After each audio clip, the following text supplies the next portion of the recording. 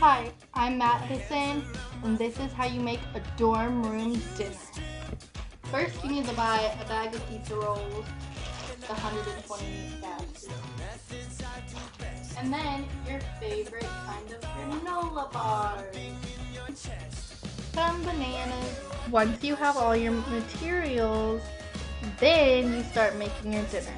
First, get a plate, preferably paper.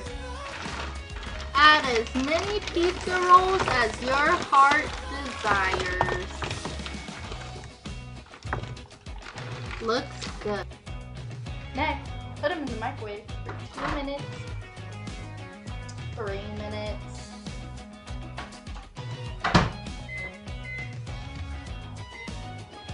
And while you're waiting, feel free to groove.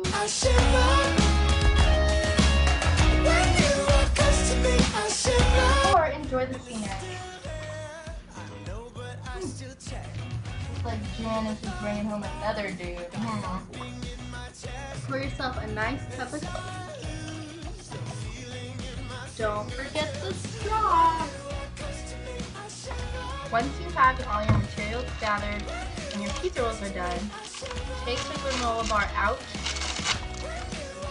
and your banana out take one piece of banana and piece of granola bar and the pizza roll. And just mush it together. A pizza roll granola